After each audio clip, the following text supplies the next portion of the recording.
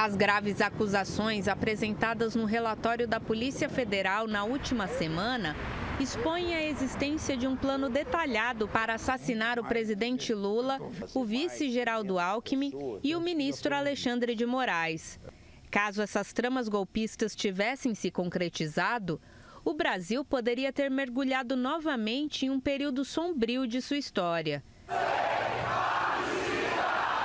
Apesar de o plano ter sido frustrado, setores progressistas da sociedade alertam para a necessidade de vigilância e mobilização em defesa da democracia, a fim de garantir que o país não volte a correr riscos semelhantes. Se a sociedade civil, os movimentos populares, os partidos políticos, enfim, se as pessoas que lutam pela democracia não se manifestarem neste momento, é, esses fatos podem voltar a acontecer a qualquer momento, porque as forças golpistas estão em plena atividade. Uma parte das forças, forças armadas embarcou neste, nesse, nessa, nessa tentativa de golpe.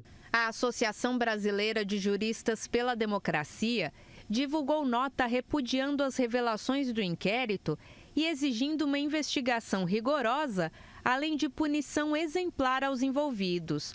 A entidade também defende a implementação de uma reforma estrutural nas Forças Armadas como medida preventiva.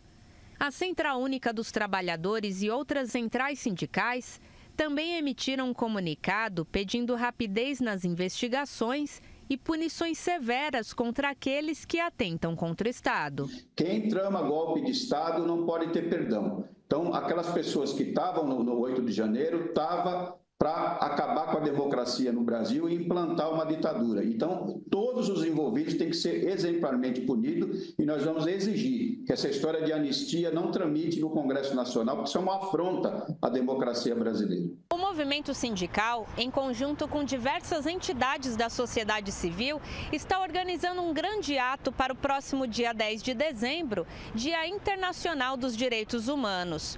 O objetivo é reforçar a mensagem de que não deve haver anistia para golpistas e de que a democracia brasileira só será fortalecida quando houver punição para todos os responsáveis. A sociedade brasileira precisa muito discutir, debater como aperfeiçoar as nossas Forças Armadas, como aperfeiçoar as nossas instituições para que a cada 10 anos não tenhamos essas possibilidade real e concreta de golpe.